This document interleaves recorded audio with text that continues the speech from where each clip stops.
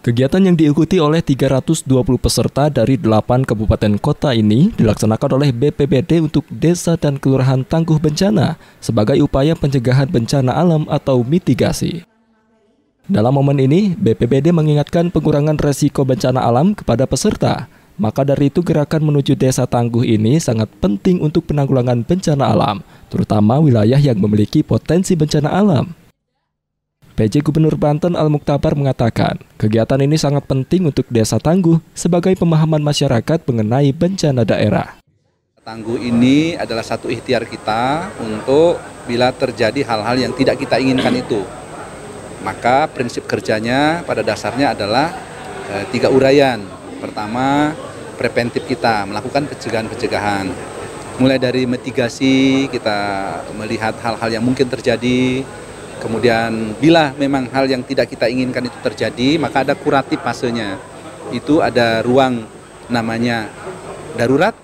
Selain itu, Nana Suryana selaku pelaksana BPBD Kota Banten berharap kegiatan sosialisasi desa dan kelurahan tangguh ini akan diimplementasikan untuk menjadikan masyarakat yang tanggap akan bencana.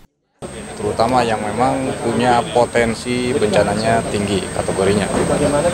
Jadi tujuannya adalah agar di desa ini terutama nanti dibentuk kelembagaan. Di kelembagaan namanya desa tangguh bencana.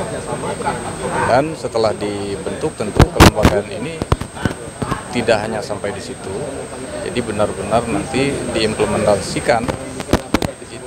Kemudian setelah terbentuk desa siaga bencana atau desa tangguh bencana ini nanti kita sampai kepada masyarakat dan ini akan terus kita lakukan dengan melakukan pelatihan-pelatihan masyarakat tanggap bencana.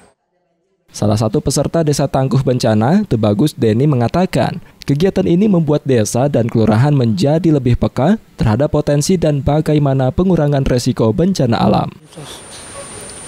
Nah kemudian kami sudah masyarakat antusias bersama-sama dengan Dinsos membantu masyarakat lah kita diberikan pelatih pelatihan kemudian sekarang muncul BPPD nah, kami juga uh, sering ikut dalam kegiatan pelatihan pelatihan termasuk uh, sebelum tsunami kita juga di Kecamatan Labuan dari BPPD ataupun dari TNI kita juga mengadakan pelatihan-pelatihan.